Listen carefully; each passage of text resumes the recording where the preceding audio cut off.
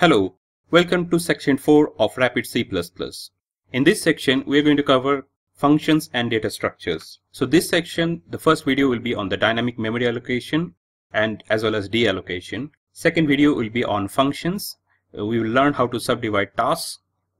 In the third video, we will cover scope, which will cover the local variable scope as well as a global variable scope. And in the fourth video, we are going to cover data structures using struct command. And last video will be an exercise that will cover all the four previous topics, which is dynamic memory allocation functions, scope, as well as data structure. So let's begin with the first video, dynamic memory allocation. In this video, we are going to learn dynamically allocate and deallocate memory. So let's get started. In all our previous examples, we were declaring the variables upfront with a certain amount of size. But in most of the practical problems, we may not know the exact size of a variable. And in such a case, we need to go for a dynamic memory allocation and deallocation. Now to accomplish that, C++ offers two operators two specifically new operators than C. One is called new, the other is called delete. So the first one is used to allocate memory and the second one, which is delete, is used to deallocate or free up the memory. So in line number 8, we have a in point A which is pointer to an integer and the memory address that has been allocated is a new and then integer. So this is how memory is allocated. So we have to use new and the type of memory that we want to use.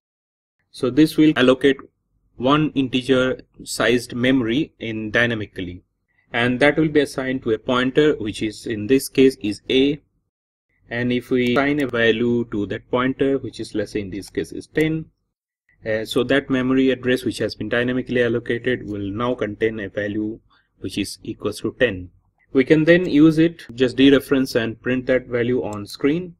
And once we are done with the use of a which is dynamically allocated we must free it up.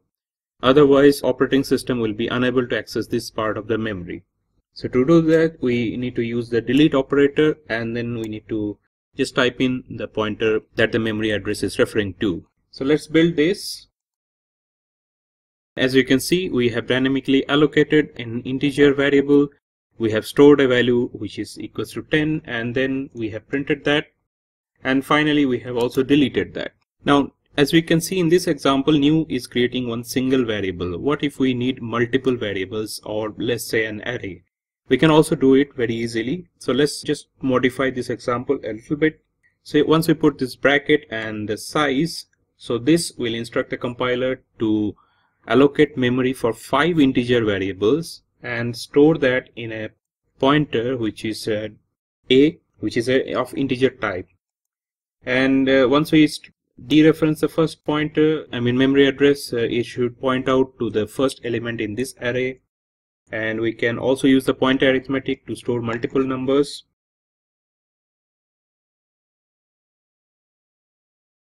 So now we have modified this example here.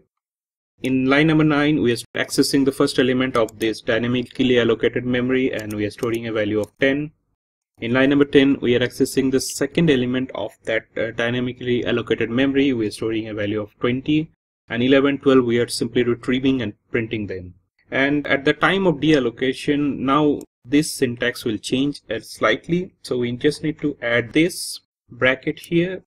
Otherwise it will only free up the first memory which is the first element and the remaining four elements stay in the memory and will remain inaccessible to the operating system. As you can see there are two changes here. First we have to define the number of elements in the new operator itself. And at the time of deallocation we need to add this bracket without any number in inside just to deallocate.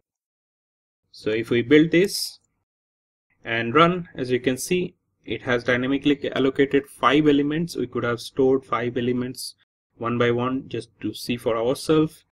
And in the first element, we have stored number 10. Second element, we have number stored number 20 and the same has been printed and same has been printed correctly here. So in summary, in this video, we learned how to dynamically allocate and deallocate map variables and objects.